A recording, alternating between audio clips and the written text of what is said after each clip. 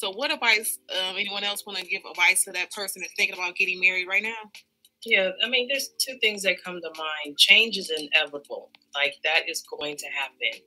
Your relationship is going to be a series of getting together and breaking up because you are going to be a different person. They're going to be a different person. Who you are now is not going to be who you're going to be in two years, five years, and so on and so forth. So understand that you may not necessarily grow together. You may not evolve together. You may evolve with two different ways and visions on how to do life. Um, and so you're going to have to keep asking yourself the same questions you did when you first dated. You might have to keep asking those questions. What do you think about these things? Because it could have changed.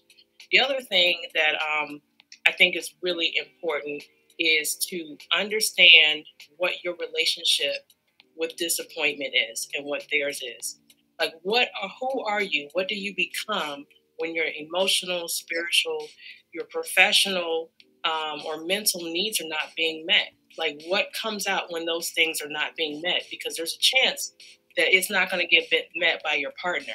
And you also need to ask the partner, like, what is your relationship with these things? And then how will you go about, you know, coping with it and being able to overcome? But you really need to know what those details are and how um, how you are able to exist when things don't go the way that you want them to.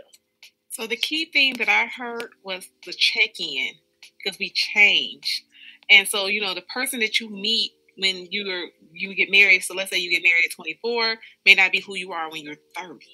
So that check-in is very crucial, you know, going in that you do normal check-in. Like even with your, you know, like I said, we it's like we gotta treat it like a job. Because your job you do check-ins. They do a yearly review, right? Mm-hmm. That's what your anniversary should be. Your mm-hmm. anniversary shouldn't be going out to eat and going out to, you know, wherever else in the airplane.